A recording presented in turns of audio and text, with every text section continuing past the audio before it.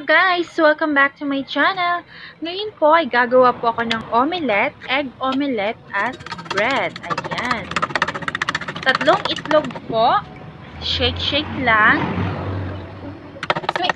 Ayan. At lagyan ng kunting asin para may lasa. At painitin po ang mantika sa kaha. Ayan. At pagkatapos, ibuhos po ang mix na egg.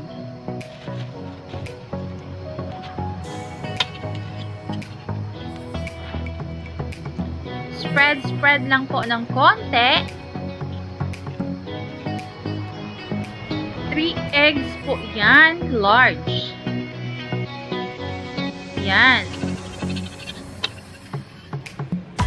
Pagkatapos,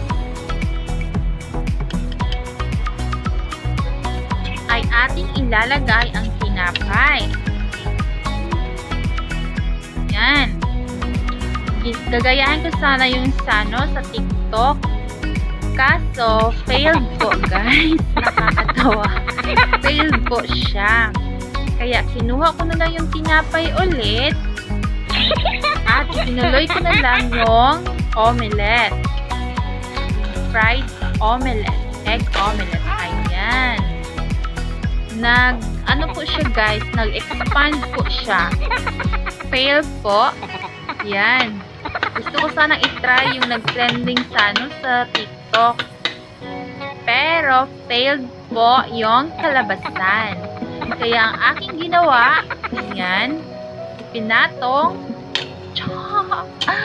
failed talaga, guys fail talaga. Kaya ganyan lang ang ginawa ko. Kaya sold na po ang snack namin. Ayan. Thank you po sa panonood. Bye-bye.